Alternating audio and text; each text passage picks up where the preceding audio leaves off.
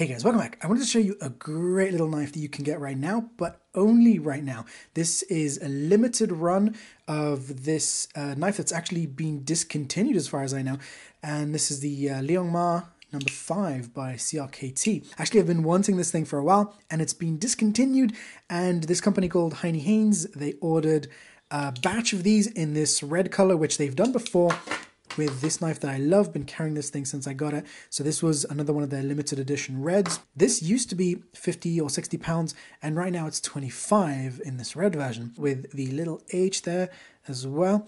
This one is awesome. So as soon as I saw the email from them, I was like, I have to order. I was like, all right, I'm taking two of them. One for my dad because uh, I thought he'd like it, and uh, I also got my dad uh, SOG Pocket Power Plier which is one of my favorite things.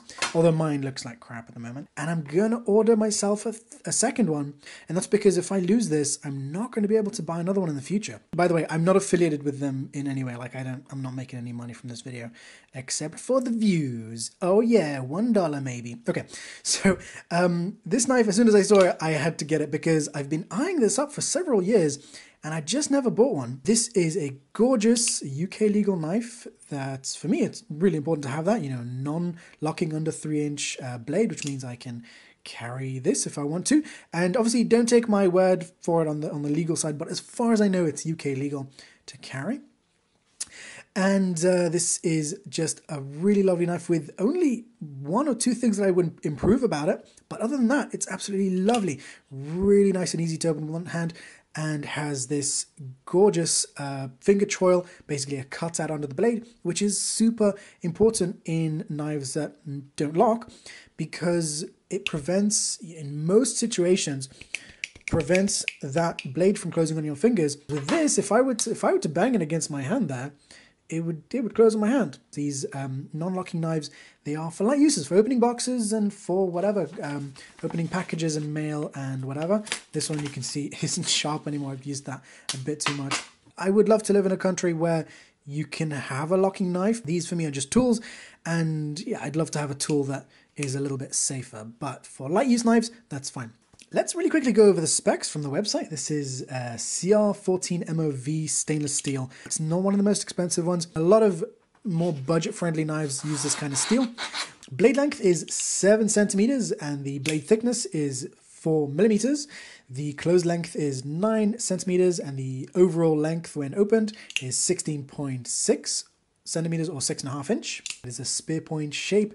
It's a satin finish on the blade, so it's not super, super mirror finish on it. And it's hollow ground, which means that the uh, grind on this is just a little bit sort of curved inwards like that. I do prefer a full flat grind, which just goes all the way from there to there, but eh, not a big issue. I'm fine with either. The handle scales are G10, which is a material which is made of fiberglass and resin. So basically, it's like they take a bunch of uh, glass fabrics, fabric made of glass, and they put resin on it and they squish it down, and it creates this material that has sort of a wood like texture once it's been sort of filed down.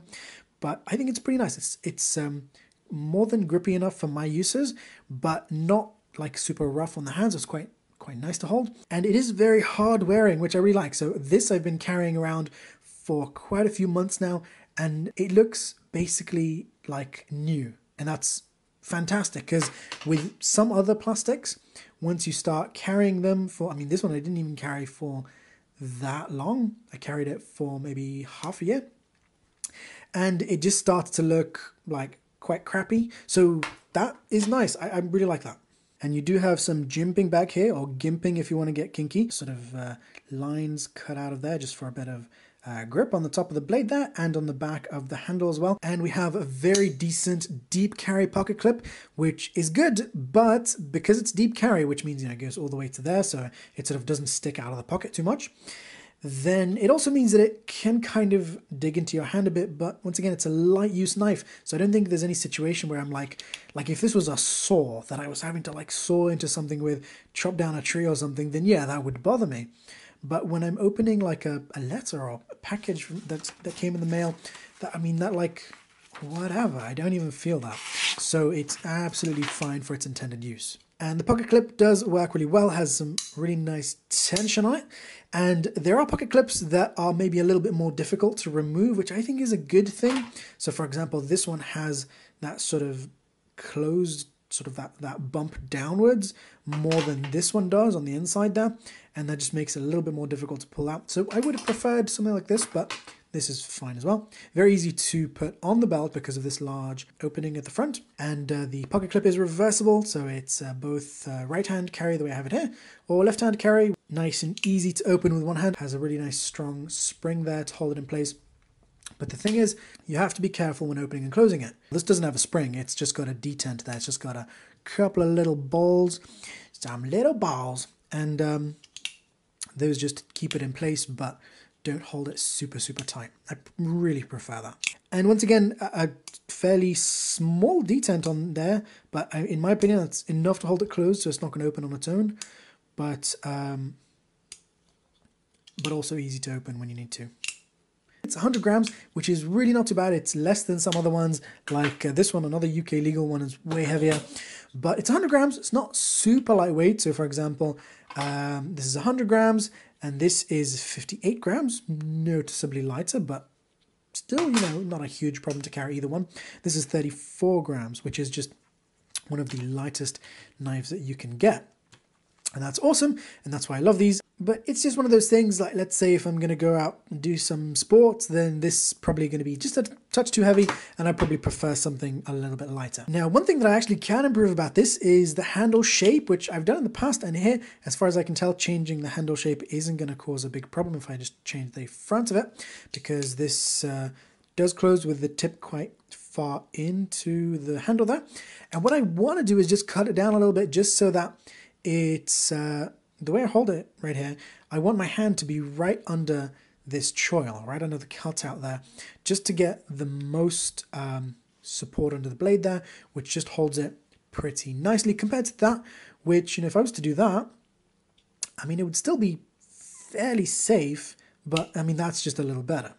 So if I hold it there, then these are sort of right there, which is just not the ideal place for those things to be. But once again, it's not a problem because it's a light use knife, but it's going to be nicer if I cut them down. So I think I'm just going to take my Bosch rotary tool and uh, just cut that so it's a bit more flat. Maybe just thin the entire handle out just a tiny bit all the way to there and then just round that off just a tiny bit. And I think that should make it pretty awesome. Nice little customized knife. And all those things in the back there are going to be a separate video. I figured while I'm at this, I was going to compare it to one other thing. And then I figured, hey, why the hell not just pull out all the knives I can find and make a little video about all the knives that I've, well, not everything I've owned because I threw a bunch away that were crap or sold or whatever. But let me know if you guys want to see that and on this channel or on the Manly Stuff channel, which by the way, you should subscribe to. Uh, lots of cool like uh, tools and stuff happening on that channel. But uh, yeah, that should be a fun video and showing you guys everything from like some random crap to some actually quite interesting knives. Thanks for watching. I'll see you guys in the next video. Bye.